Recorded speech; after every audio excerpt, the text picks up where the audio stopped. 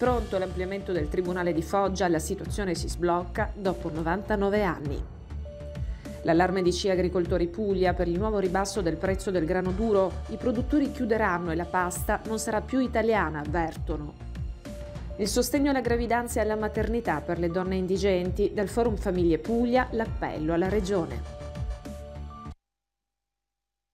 Ben ritrovati con l'informazione di Antenna Sud, pagina dedicata alle province di Bari, Labat e Foggia. Partiamo dal Foggiano, avete sentito nei titoli, c'è un'importante notizia legata all'ampliamento del Tribunale, una situazione che si sblocca dopo 99 lunghi anni e restituisce eh, dignità a quel territorio dal punto di vista della eh, giustizia. Soffermiamoci su questa porzione di territorio perché eh, però si torna a sparare. Si torna a sparare a Cerignola, è rimasto gravemente ferito un pregiudicato ed è stato fermato il presunto responsabile. Sentiamo.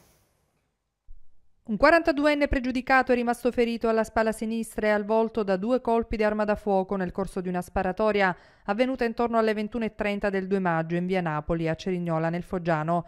A seguito di serrate e immediate attività investigative, i militari della compagnia Carabinieri di Cerignola hanno arrestato un 47enne del posto ritenuto il presunto autore del tentato omicidio. Sono ancora in corso le indagini finalizzate a capire il movente e a ricostruire bene gli eventi da cui è scaturita l'azione delittuosa. La vittima, a seguito del ferimento, è stata soccorsa in via Rialto nei pressi di un autolavaggio e trasportata con l'elisoccorso presso l'ospedale Casa Sollievo della Sofferenza di San Giovanni Rotondo.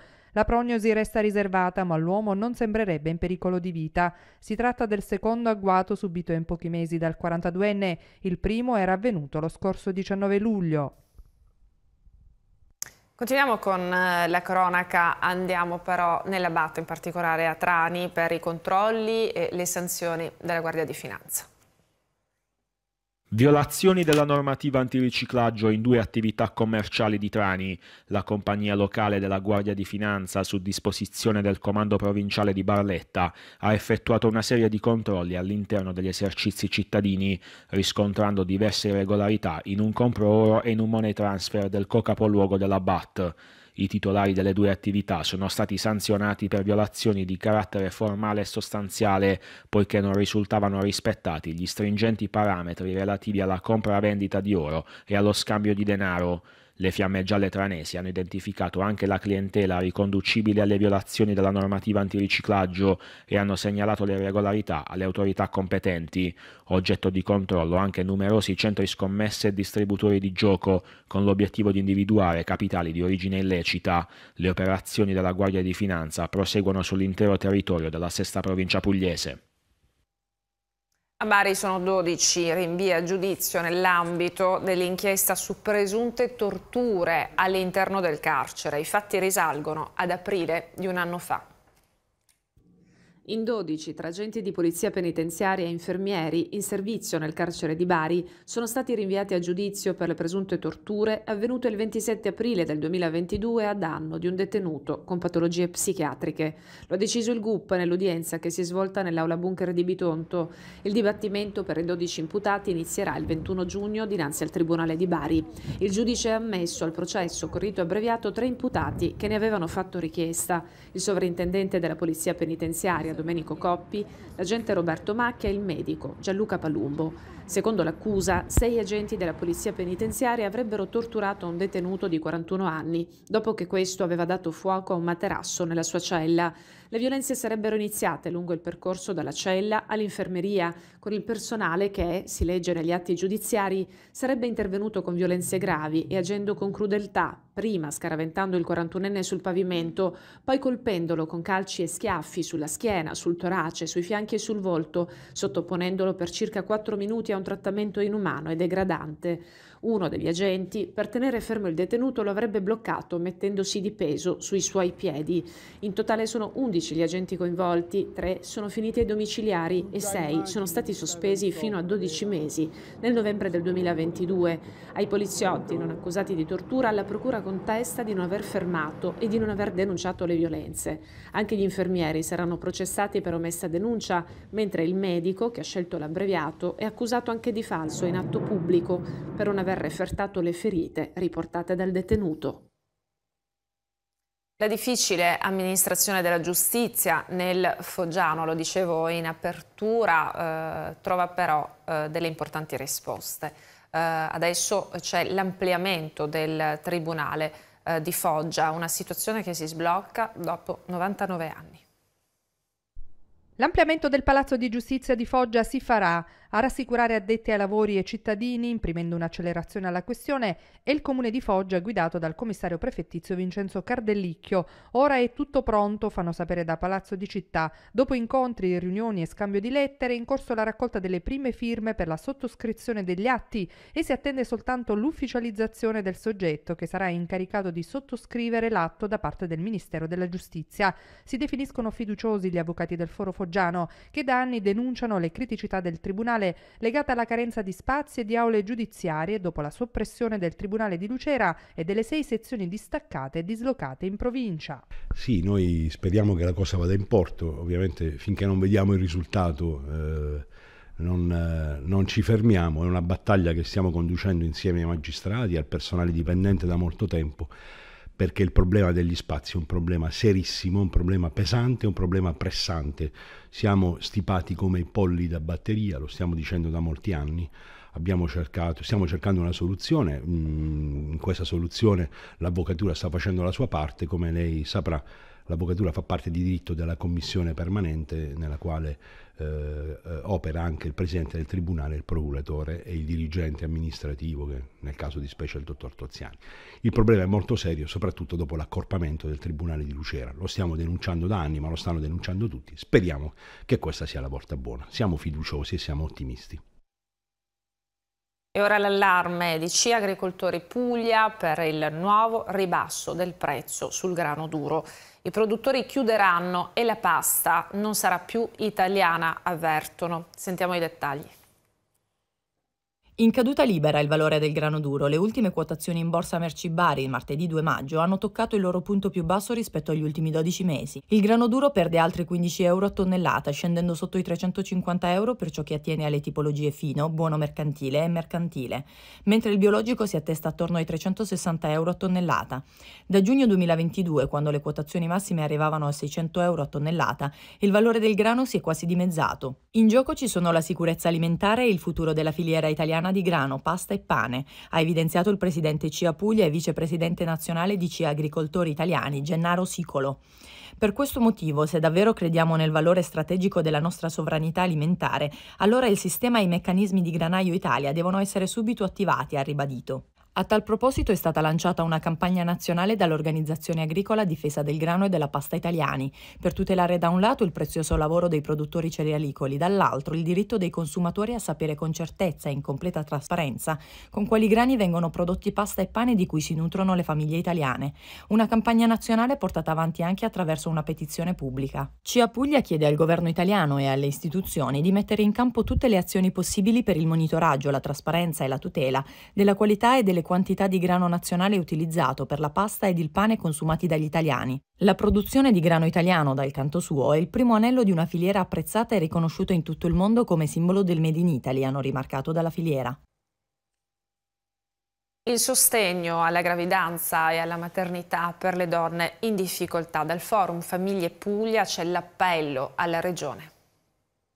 Torna a farsi sentire la voce delle mamme e dei papà. Ha infatti qualcosa da dire il forum delle associazioni familiari di Puglia in merito alla sospensione della delibera approvata dalla giunta regionale che aveva ratificato nei giorni scorsi sostegni psicologici, sociali ed economici a favore delle gravide in difficoltà che desiderassero portare a termine la gravidanza, rendendo così integrale l'applicazione dei punti 2 e 5 della legge sull'aborto del 22 maggio del 1978, numero 194.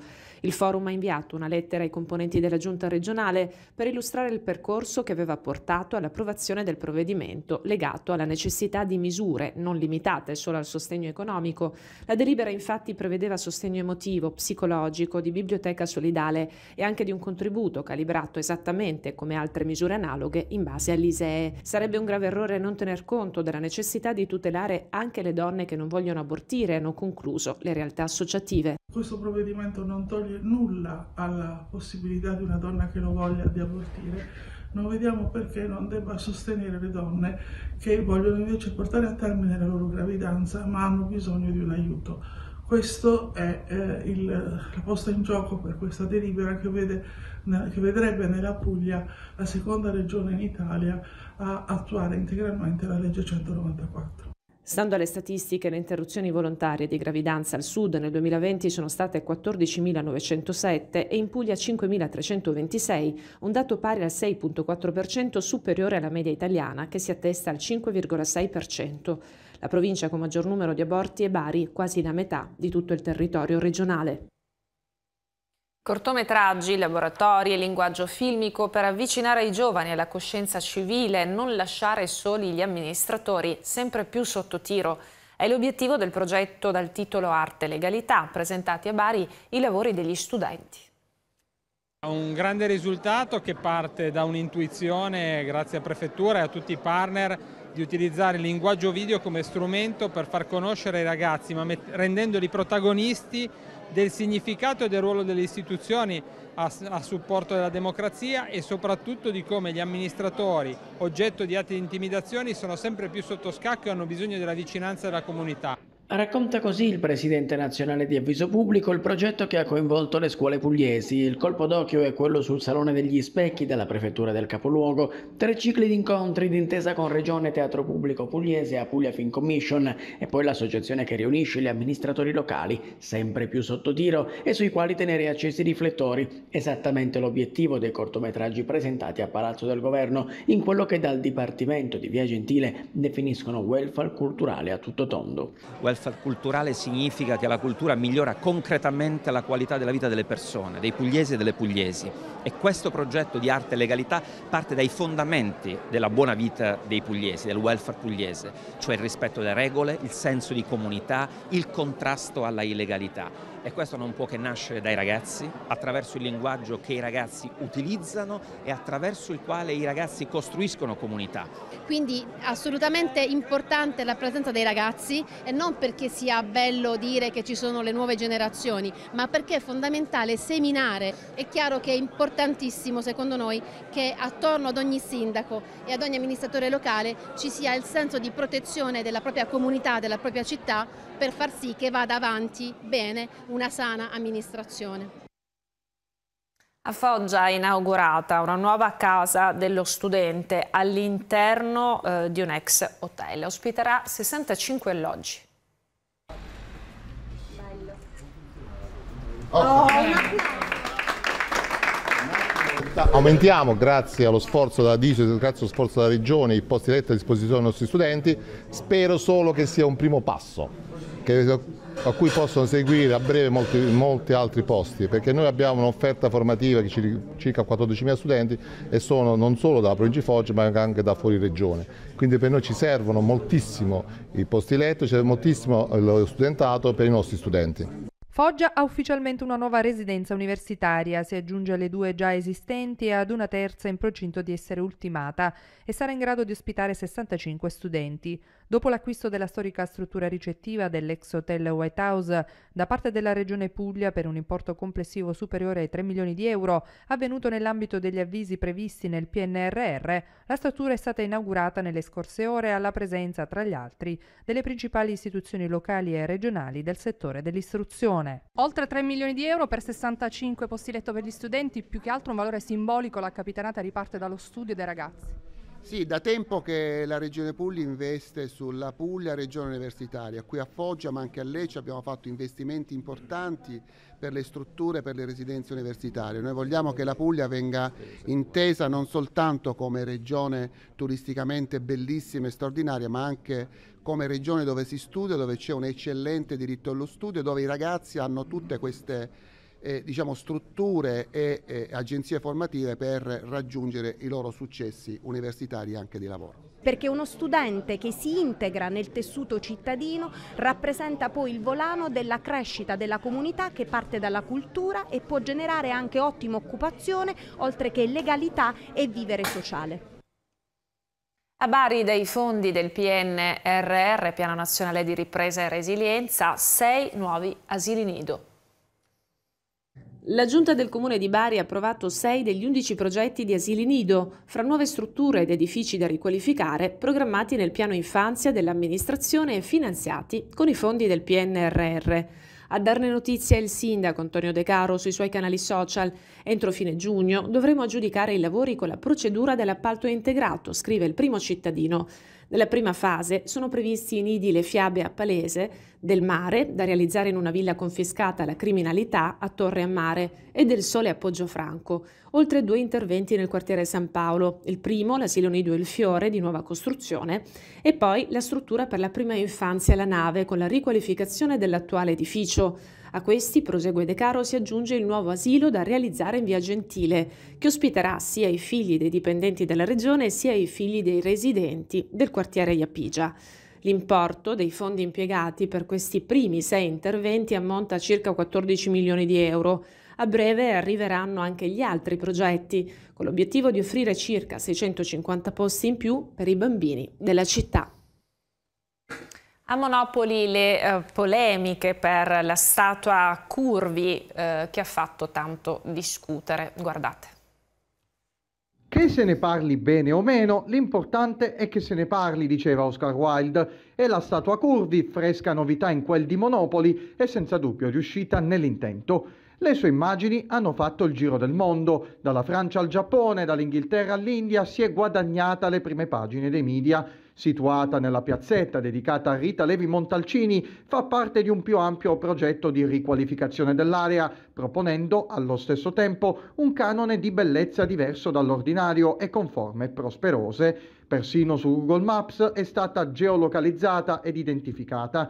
Si trova in una zona con vista mare, ma adibita anche a parco giochi per bambini, Qualcuno ha storto il naso ed ha protestato, ma la statua rimane così com'è e la novità viene accolta positivamente da turisti e passanti che pur di ammirarla sfidano il maltempo. L'arte in fondo è arte. È una cosa bellissima. Monopoli ha bisogno perché abbiamo il mare, la sirena dove fanno? Al mare, certo, è stupendo. Ne stanno dicendo di tutti i colori però, dice che è stata fatta male, non lo so sta bene, sta bene proprio. Presentato nella sala convegni dell'Università di Bari il nuovo libro di Antonio Ricchio e Pierpaolo Manno. Si parla di emergenze energetiche, questione ambientale attraverso un'analisi geoeconomica e dei rischi per la cyber security. Presentato nella sala convegni dell'Università di Bari il nuovo libro di Antonio Uricchio e Pierpaolo Manno dal titolo Le emergenze energetiche tra crisi geopolitica e questione ambientale, pubblicato nella collana sull'intelligence dell'Università della Calabria. A seguito della crisi anche provocata dalla guerra russo-ucraina, come l'approvvigionamento energetico sia un problema serissimo e la dipendenza del nostro Paese da fonti energetiche estere e fossili abbia poi provocato un impatto pesante sulla nostra economia. Nel volume affrontiamo il tema dell'autosufficienza energetica come strategia essenziale delle politiche del nostro Paese, ma anche affrontiamo il tema della liberazione del nostro Paese anche da un gioco energetico provocato dalle fonti fossili, quindi la necessità di puntare su fonti energetiche ambientalmente compatibili. Il lavoro offre alcune riflessioni in tema di policy per la sicurezza energetica e ambientale, assumendo una prospettiva complessa in cui l'analisi geoeconomica si collega a quella dei rischi relativi alla cyber security nella connessione delle infrastrutture critiche energetiche e alle questioni ambientali. La definizione migliore di intelligence l'ha data Bill Gates, parlando di altro. Ho una certezza semplice ma incrollabile. Il modo migliore per prevalere sugli altri è eccellere sul piano dell'informazione, quindi nel modo con cui si analizzano, si ricercano e si utilizzano le informazioni. Di cosa ha parlato Bill Gates? Ha parlato del metodo dell'intelligence, che ciascuno di noi fa, senza saperlo, per decidere. Noi tutti acquisiamo le informazioni, le analizziamo e le utilizziamo. Presentato il cartellone di eventi per l'estate barlettana nel fossato del Castello, Ranieri, Brignano, Drusilla e non solo. Musica, spettacoli, divertimento e quindi turismo. Con il Summer Festival torna l'estate barlettana, espressione della tradizione popolare cittadina nel suggestivo scenario del fossato del Castello Svevo. Si inizia l'8 giugno con alcuni degli spettacoli gratuiti previsti per un pubblico ampio. I nomi clou del cartellone, tra cui Nino D'Angelo, Massimo Ranieri, Fabi Fibra e Levante, riservati ad un pubblico pagante, sfileranno invece a partire dal 21 luglio e sino al 24 agosto. Questa manifestazione pubblica che abbiamo fatto è eh, con chi ha vinto la gara e gestirà il fossato, ritorniamo a portare al castello grandi eventi di richiamo non solo per la cittadinanza ma anche per tutto il territorio che la circonda. Si tratta di appuntamenti che avranno un grosso impatto sull'intera filiera del settore dell'accoglienza turistica, creando occasioni di sviluppo per la città, ha dichiarato il sindaco Mino Cannito. Alla musica dei grandi artisti e al Festival internazionale del cibo di strada del Summer Festival si aggiungeranno a settembre la rievocazione della disfida di Barletta, oltre ai mondiali del coastal roading e del beach sprint, un grande appuntamento sportivo che vedrà la città proiettata a livello internazionale. Un'estate studiata a tavolino per abbracciare una platea territoriale vasta per gusti ed interessi. Adesso Adesso si aspetta solo l'arrivo delle alte temperature.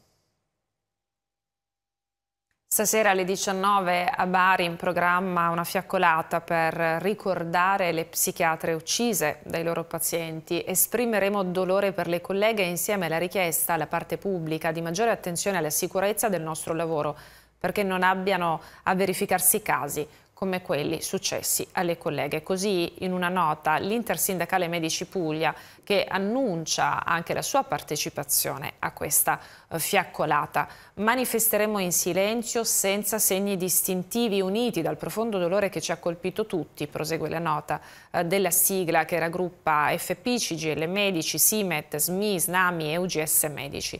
La fiaccolata del capoluogo pugliese partirà da Piazza San Ferdinando e arriverà alla cattedrale nella eh, città eh, vecchia. Si ricorda ovviamente anche Paola Labriola, uccisa a Bari, anche lei da un paziente dieci anni fa. Adesso invece eh, Bari che si riappropria del portico eh, dei pellegrini che in occasione della festa di San Nicola eh, e non solo ospiterà la mostra Apulia Monumentale che è un focus sui beni culturali del territorio barese. Il portico dei Pellegrini a Bari, situato davanti alla Basilica di San Nicola, è stato restituito alla cittadinanza, un atto dal profondo significato simbolico e da pochi giorni dalla festa patronale e che è inoltre coinciso con la presentazione della mostra fotografica a Puglia Monumentale, il viaggio di Romualdo Moscioni, a cura della Soprintendenza Archeologia, Belle Arti e Paesaggio per la città metropolitana di Bari, Situata all'interno dello stesso portico si raccoglie una ricca soluzione di uno storico reportage fotografico che parla di un sud inesplorato con beni culturali non solo del capoluogo ma anche dei territori limitrofi. Immagini di paesaggi e di architettura dominano la scena così come la presenza di 48 stampe originali. Saranno delle giornate eh, importanti, un po' teniamo insieme le nostre tradizioni, la nostra storia con le festività di San Nicola dall'altro lato le tante persone che verranno avranno l'opportunità di guardare tante mostre in città, nei musei che sono aperti e questa è una mostra particolare, una mostra che riprende eh, le fotografie di eh, parti museali, architettoniche, storiche e che saranno messe in mostra e che ci legano anche a un periodo della storia in questo percorso che stiamo facendo anche nei musei cittadini, tenere insieme il passato e il presente. Parliamo di digitalizzazione, ricerca, start-up e imprese, l'agenzia regionale Arti cambia pelle e un po' anche la mission. Vediamo come. La nuova Arti si occuperà eh, di trasferimento tecnologico, si occuperà di scouting brevettuale, di creazione di un, un connubio tra le piccole e nostre medie imprese del settore de della ricerca, che sia universitario e non, proverà a fare scouting e supporto anche ai giovani per la creazione di start-up, proveremo a creare un, un parallelo lavoro ma che avrà un filo conduttore legato alla ricerca con Innova Puglia. L'Arti cambia pelle e un po' anche Mission, l'agenzia è quella della Regione Puglia per la tecnologia e l'innovazione e il cambiamento non sta soltanto nell'acronimo che guadagna anche l'obiettivo del trasferimento tecnologico al servizio dello sviluppo economico ma anche di istruzione, formazione, lavoro e valorizzazione della ricerca. A traghettare la nuova realtà sarà Vito Albino da commissario straordinario dell'agenzia ma la governance si uniformerà presto a quelle sancite dall'ultima legge approvata dal Consiglio regionale in termini di Consiglio di amministrazione e revisore unico. Quello che eh, la, la, Giunta regionale in questo momento ci ha chiesto è quello di eh, sostenere in maniera più proattiva l'azione di trasferimento della conoscenza a vantaggio del sistema della ricerca pubblica e anche a vantaggio del sistema delle imprese, convinti come sono e siamo che la conoscenza è la risorsa chiave per lo sviluppo del nostro territorio e quindi in questo l'Arti e la nuova Arti in particolare perché ovviamente c'è una fase di accompagnamento, di transizione e poi la nuova Arti dovrà svolgere in maniera più piena.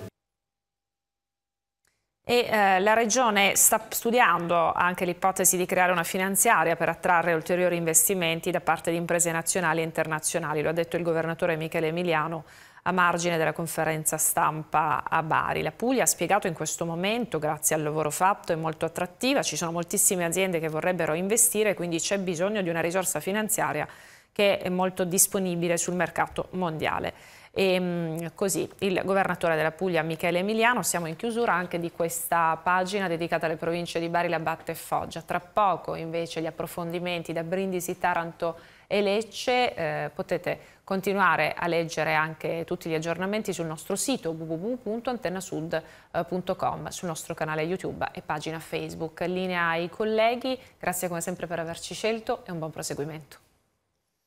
Rimani connesso, scarica gratuitamente dagli store o tramite QR code la nuova app di Antenna Sud, più veloce e con più funzioni per essere aggiornato in tempo reale sulle news di Puglia e Basilicata, seguire in streaming i nostri programmi o rivederli on demand da qualsiasi dispositivo.